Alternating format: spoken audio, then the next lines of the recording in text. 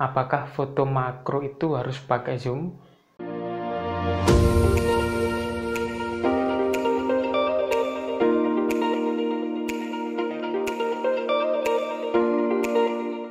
Halo semuanya, jumpa lagi di channel Panas Selamat, channel yang bahas tentang fotografi pakai HP. Kali ini uh, saya pengen sharing tentang fotografi makro ya, pakai HP ya.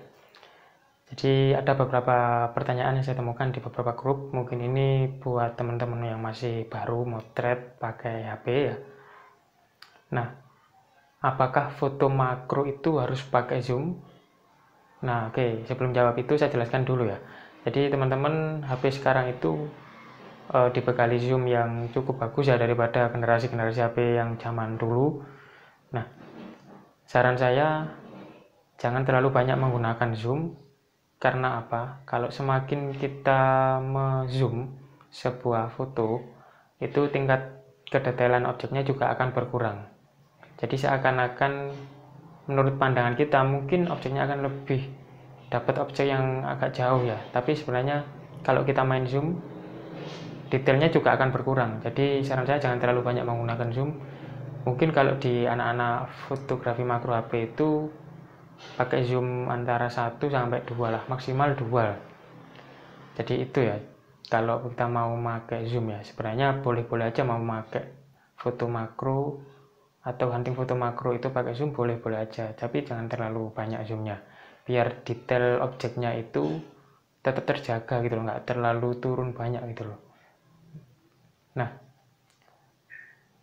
solusi lain selain pakai zoom ya mau nggak mau anda harus mendekatkan ke objek. Jadi objeknya harus didekati dulu. Karena foto makro pakai HP itu objeknya itu jarak dekat bukan jarak jauh. Bahkan kalau kita pakai lensa tambahan itu objeknya malah lebih dekat. Mungkin jarak sekitar 3 cm 5 cm atau mungkin 10 cm ya.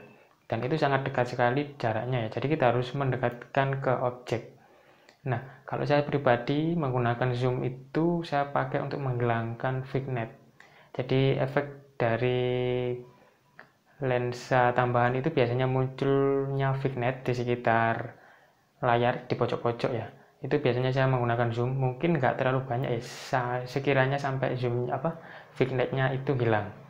Karena saya sendiri nggak begitu suka dengan motret menggunakan banyak zoom ya, kecuali kalau memang benar-benar terpaksa ya dan mungkin masih di batas zoom 2 lah. Kalau di atas itu saya nggak berani.